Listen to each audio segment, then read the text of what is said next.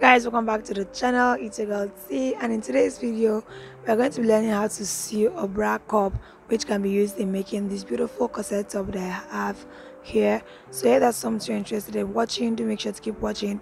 Don't forget to like subscribe turn on post notifications.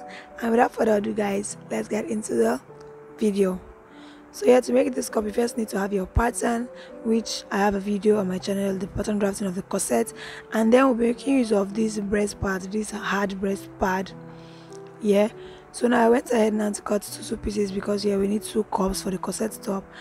Yeah so i'm just going to go ahead now and join number two and three first so I'll be joining 2 and 3 first in this manner. So yeah if you have a manual machine you can try to do zigzag stitches. But then I'm making use of this electric machine and I'll be turning it to that zigzag stitch there. So now that I've finished zigzag stitch I'm just going to go ahead now to place um the cups like so the shining part being upwards like so. And I'm just going to go ahead now to stitch it.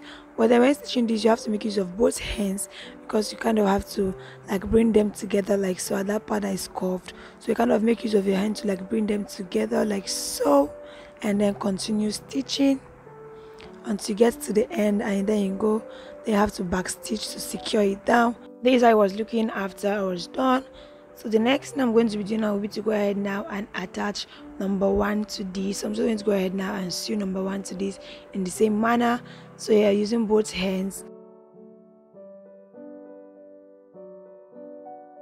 I was looking like after I was done, I went ahead and did for the other cup also, and that's basically how you make a bra cup. Hope you guys enjoyed the video. If you did, don't forget to like, subscribe, turn on post notifications.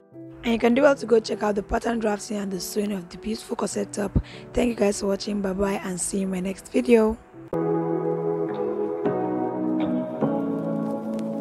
Say what you wanna say to me now